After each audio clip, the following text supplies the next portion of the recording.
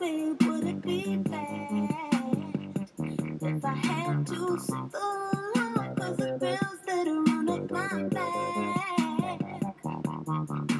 back.